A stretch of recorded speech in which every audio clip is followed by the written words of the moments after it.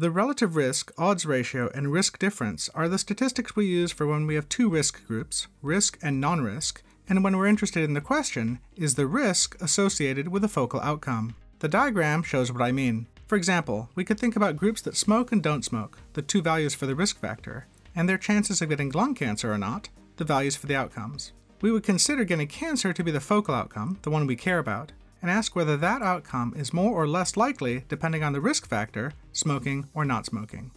The way we answer this question is that we compare the proportions observed to the proportions expected if the groups and outcomes are independent.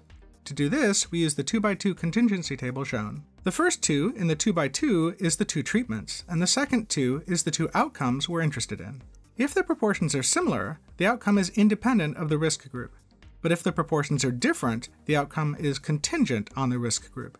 Three statistics are commonly used to figure this out. The relative risk, also known as the risk ratio, excess risk, or attributable risk, the odds ratio, and the risk difference. Since we're using data from a sample, we need to calculate these statistics and their confidence intervals to estimate a range for the population relative risk, odds ratio, and risk difference values. We're usually interested in whether the relative risk or odds ratio are different from 1, or the risk difference is different from 0.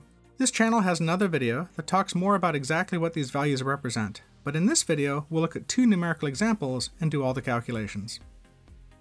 In our first example, let's look at the values shown here, there are twice as many total observations in the risk group, 2,000 versus 1,000, but three times as many that have the focal outcome, 15 versus 5. If the risk had no effect, we would expect 10 observations in the risk focal outcome combination because the risk group has exactly twice as many total observations as the non-risk group. Instead, we see 15 an extra 50%. From just looking at this, it appears that the effect of the risk is to increase the rate of the focal outcome by 50%. We're going to show some equations using the values in each of the four boxes in our contingency table. So to shorthand things, let's use the letters A, B, C, and D to represent the values in each of the boxes.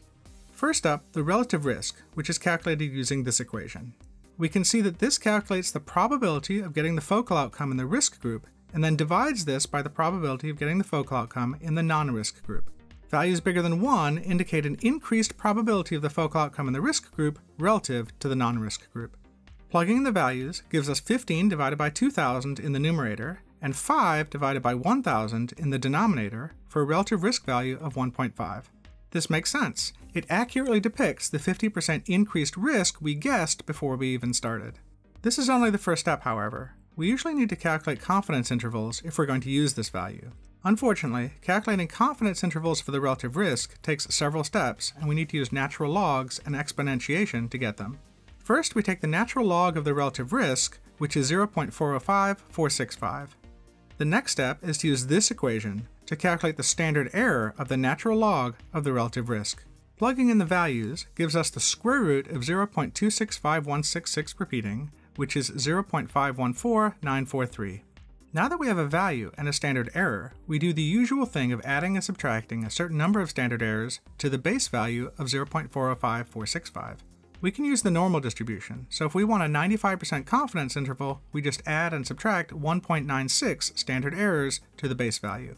This gives us natural log of the relative risk, 0.405465, plus or minus 1.96 times the 0.514943 standard error value for an interval of negative 0.60382 to 1.41475.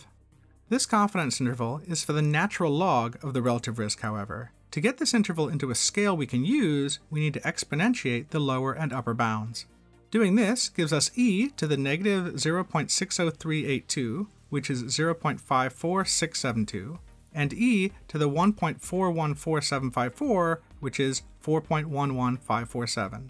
This gives us a 95% confidence interval for the relative risk of 0.5467 to 4.1155. The confidence interval includes the value 1.0, which means that while the relative risk in our sample is larger than 1, 1.5 to be precise, the population relative risk could easily be anything between 0.5467 and 4.1155. We therefore lack good evidence to conclude that the true relative risk is higher than 1 and that there is an elevated risk in the population. Next up is the odds ratio, which is calculated using this equation. This equation is less straightforward to understand than the relative risk. It calculates the ratios of the risk factor in the two outcome groups and then compares them. This is clearly related to an elevated risk, but the interpretation is not exactly the same. For example, while the ratio of the risks in the focal group is 3, the ratio in the other outcome group is a bit different from exactly 2, so we're not going to get a value of 1.5 for the odds ratio. Plugging in the values gives us 15 divided by 5 in the numerator, and 1985 divided by 995 in the denominator, for an odds ratio value of 1.503778. This is very similar to the relative risk from before, but slightly larger. As before, we need to calculate confidence intervals if we're going to use this value, and calculating confidence intervals for the odds ratio is also going to use natural logs and exponentiation. First, we take the natural log of the odds ratio, which gives us 0.407981. Then we use this equation to calculate the standard error of the natural log of the odds ratio. Plugging in the values gives us the square root of 0.268175, which is equal to 0.517857. Again, we're going to add and subtract 1.96 of these standard errors from our base odds ratio. This gives us natural log of the odds ratio, 0.407981, plus or minus 1.96 times 0.517857, to get an interval of negative 0.60702 to 1.42298 for the confidence interval of the natural log of the odds ratio. As before, to get this interval into a scale we can use, we need to exponentiate the lower and upper bounds to get e to the negative 60702, which is 0.54497, and e to the 1.42298, which is 4.14947. Our 95% confidence interval for the odds ratio of 0.5450 to 4.1495 includes the value of 1.0, which means that while the odds ratio in our sample is larger than 1, the population odds ratio could easily be anything between 0.5450 and 4.1495, which includes a value of 1, indicating no relationship between the risk and the outcome. We therefore lack good evidence to conclude that the true population odds ratio is larger than 1, and that the risk to non risk ratio is truly higher in the individuals possessing the focal outcome. Our third statistic is the risk difference, which is calculated using this equation. This equation simply calculates the proportion of observations in each risk category that have the focal outcome and takes the difference. Values larger than zero indicate relatively more focal outcomes in the risk group, and values less than zero indicate less. Plugging in the values and working through all the steps with our fractions gives us a value of 0.0025. Individuals in the risk group have a quarter of a percent higher chance, 1 in 400, of having the focal outcome compared to individuals in the non-risk group. As before, we need to calculate confidence intervals if we're going to use this value, but this time we don't need natural logs and exponentiation, we can calculate the standard error directly. The equation to get the standard error is a bit complicated, but not too bad. Plugging in the values gives us the square root of 1.25 times 10 to the negative 6, which is 0.002949. Again, we add and subtract 1.96 of these standard errors to our base value. This gives us 0.0025 plus or minus 1.96 times 0.002949 to get an interval of negative 0.00328 to positive 0.00828 for the confidence interval of the risk difference.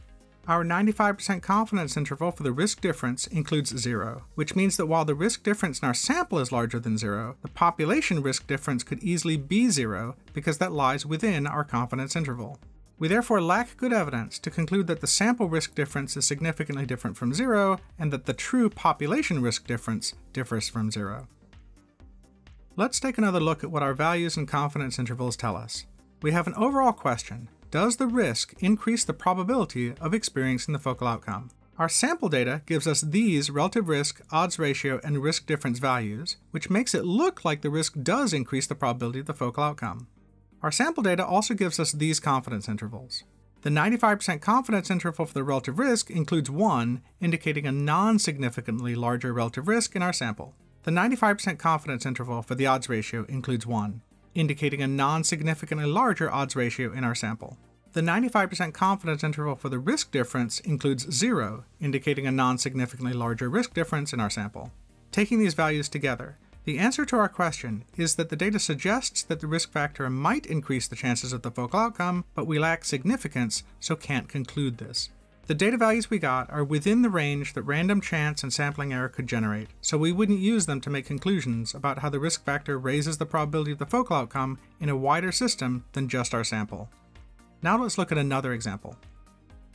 In this second example, let's look at these values. I've kept the total number of values in each risk group the same, 2000 versus 1000, but I've increased the number of observations in the focal outcome column.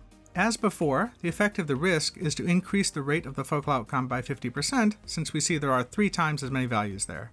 The relative risk is the probability of getting the focal outcome in the risk group divided by this probability in the non-risk group. Plugging in the values and going through the steps gives us 49.5 divided by 33 for a relative risk value of 1.5, which accurately depicts the 50% increased risk we predicted. As before, we need to calculate confidence intervals to use this value, and that means natural logs and exponentiation. The natural log of the relative risk is 0.405465. Now we use the equation for the standard error of the natural log of the relative risk. Plugging in the values gives us the square root of 0.03890, which is 0.197241.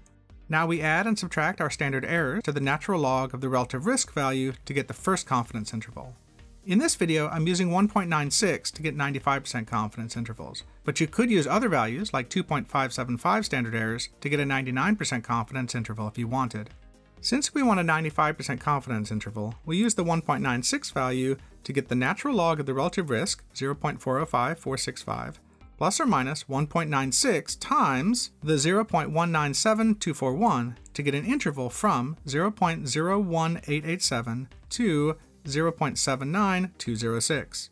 This confidence interval is for the natural log of the relative risk, so we exponentiate the lower and upper bounds to get e to the 0.01887, which is 1.01905, and e to the 0.79206, which is 2.20793. This gives us a 95% confidence interval for the relative risk of 1.1091 to 2.2079. This confidence interval doesn't include the value 1.0, which indicates that the sample relative risk is significantly larger than 1. Our best estimate for the population value is 1.5, but there's a 95% chance that it's anything from as small as 1.02 to something as big as 2.2. It looks like the risk factor probably does increase the chances of seeing the focal outcome in the population. Now for the odds ratio, which we're expecting to be significantly larger than 1 if it's consistent with the elevated relative risk. Using the odds ratio equation and plugging in the values gives us 99 divided by 33 in the numerator and 1901 divided by 967 in the denominator, which is 3 divided by 1.965874 for an odds ratio value of 1.526039. This is still fairly similar to the relative risk, but larger than 1.5 by a greater magnitude than in our previous example. Now for the confidence interval. First, we take the natural log of the odds ratio, which is 0.422675. Using this equation, for the standard error of the natural log of the odds ratio, gives us the square root of 0.041964, which is 0.204852. As before, we're going to add and subtract 1.96 of these standard errors to get a 95% confidence interval. This gives us natural log of the odds ratio, 0.422675, plus or minus 1.96 times 0.204852 to get an interval of 0.021166 to 0.824185 for the confidence interval of the natural log of the odds ratio. We exponentiate these lower and upper bounds. e to the 0.021166, which is 1.02139, and e to the 0.824185, which is 2.28002 to get our confidence interval. Our odds ratio 95% confidence interval of 1.0214 to 2.2800 does not include the value 1.0, which means that the sample odds ratio is significantly larger than 1. Our best estimate for the population odds ratio is 1.526, but it could easily be anything between 0.02 and 2.28. It looks like the risky trait is more common in those with the focal outcome than in those without it. Now for the risk difference, which we're expecting to be larger than zero. As before, the equation simply calculates the difference between the proportions of observations that show the focal outcome in each risk category. Plugging in the values and evaluating them gives us a value of 0.01650. Individuals in the risk group seem to have a 1.65% higher chance of having the focal outcome than individuals in the non risk group. Next step the standard error and confidence intervals. Here's the equation to get the standard error again, and plugging in all the values gives us a final value of 0.0074455. Adding and subtracting 1.96 standard errors gives us an interval of 0.00191 to 0.03191 for the confidence interval of the risk difference. No surprise, our 95% confidence interval for the risk difference doesn't include zero, which means that the sample risk difference is significantly larger than zero. Our best estimate for the increase in the population is 1.65%, but it could be just barely larger than zero or as large as almost 3.2%. It really does look like the focal outcome is more common in the group with the risk factor than in the group without it. As we did for the first example, let's take a look at what our full set of values and confidence intervals tell us. Again, our overall question is, does the risk increase the probability of experiencing the focal outcome?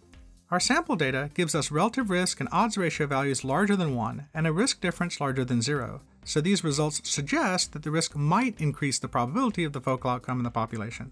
Our sample data then gave us these confidence intervals. The 95% confidence interval for the relative risk does not include 1, indicating a relative risk significantly larger than 1. The 95% confidence interval for the odds ratio does not include 1, indicating an odds ratio significantly larger than 1. The 95% confidence interval for the risk difference does not include zero, indicating a significantly elevated risk difference. Taking these values together, the significant results indicate that the risk factor increases the chances of the focal outcome in the population, but we should be cautious. While our confidence intervals do indicate that there's a 95% chance that the risk factor is associated with an increased probability of the focal outcome, this isn't 100%. The confidence intervals don't include 1 or 0, but they are quite close, so we would want to be cautious with how convincing we think this evidence is.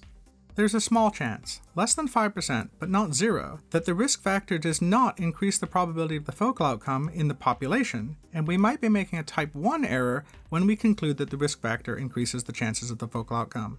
If you're not familiar with this type of error, you can watch a video we have on this channel all about this. We can also see a couple of interesting things when comparing the results from the two examples. While the relative risk is the same for both sets of data, the odds ratio is not. It's higher in the second example because the odds ratio is always larger than the relative risk. If the overall probability of the focal outcome is extremely low, then they're almost the same and it's not a problem. But if the focal outcome isn't super rare, then the odds ratio can be much higher than the relative risk. In the first example, the overall probability of the focal outcome is less than 1%, whereas in the second example, it's 4.4%. The fact that these values can differ quite a bit is a major reason why we need to be careful to not confuse the different interpretations of the relative risk and the odds ratio. The second thing to note is that we can see the effects of the sample size in the four boxes of our contingency table. In the second example, we have the same relative risk and total sample size, albeit larger odds ratios and risk differences but the confidence intervals indicate its significance mainly because the smallest values in our tables are larger. Having more observations of the things we're interested in gives us more power to detect increased proportions in various categories. Incidentally, this is why it's hard to determine genuine risk factors for rare outcomes. It's very difficult to design a study with enough of the focal outcome. There's a high resolution PDF of this full image on the Stats Examples website. Like or subscribe if you found this video useful, and feel free to share this with anyone you know who will find it useful.